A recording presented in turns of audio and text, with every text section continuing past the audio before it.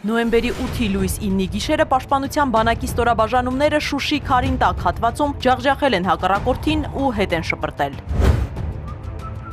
Մերոնք ջախջախում են, հետ շպրտում, 44 օր հաղթում ենք, իսկ Ադրբեջանից Շուշին գրավելու լուրեր են գալիս։ Շուշին ամբողջությամբ անցել է հակառակորդի վերահսկողության տակ։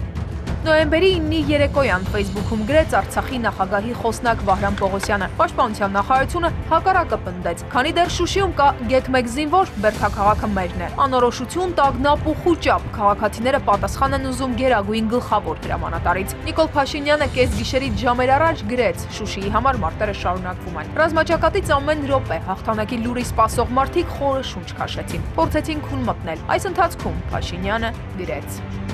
Անձամբ իմ եւ բոլորի համար ծանր որոշում եմ կայացրել։ Азербайджанская республика и Республика Армения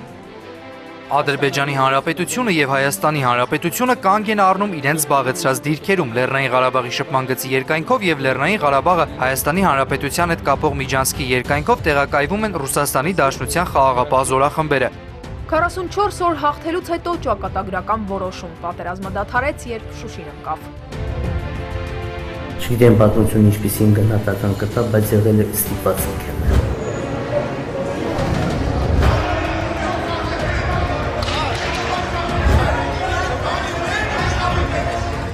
Այս պատկերը փաստաթղթի ստորագրումից անմիջապես հետո էր։ Հրապարակը թնդած կատաղությունից քաղաքացիները ներխուժեցին կառավարական շենք, կոտրեցին դուռ, պատուհան, այլ իրեր։ Գիշերն իրարանցում էր նաև խորհրդարանում, իշխանական ոչ մի պատգամավոր չկար։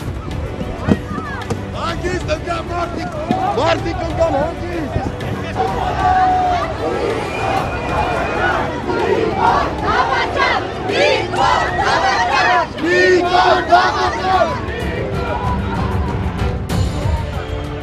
Ժողովրդի առաջ առաջինն Արարատ Միրզոյանը հայտնվեց խորհրդարանի նախագահին ծեծեցին, հիվանդանոց ընկավ։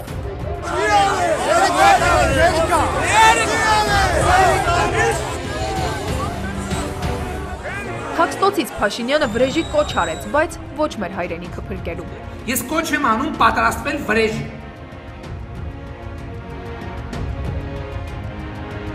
Որովհետև այո, մեր զինվորների վրեժը մենք դրանցից պիտի հանենք։ Մեր հայրենիքի կորսված հայրենիքի վրեժը մենք դրանցից պետքա հանենք։ Հայրենիքը փրկելու գործը փորձեցին ստանձնել ընդդիմադիրները։ Փողոցի ամիսներ տևած պայքարը մարեց փողոցում անարդյունք։